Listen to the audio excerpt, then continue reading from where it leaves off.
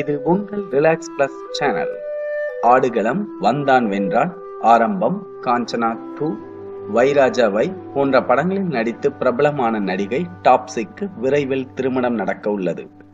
Cinema தொழில் சார்ந்த நபரை திருமணம் செய்து கொள்ள மாட்டேன் என்று கூறியிருக்கிறார்.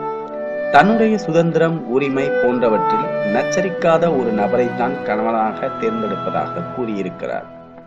தனது சகோதரியுடன் இணைந்து திருமணங்களை பொறுப்பேற்று நடத்தி கொடுக்கும் தொழிலையும் செய்து வரும் நடிகை டாப்ஸி சினிமாவை விட்டு விலகாமல் தொடர்ந்து சினிமாவில் நடிப்பதையே விரும்புகிறார்.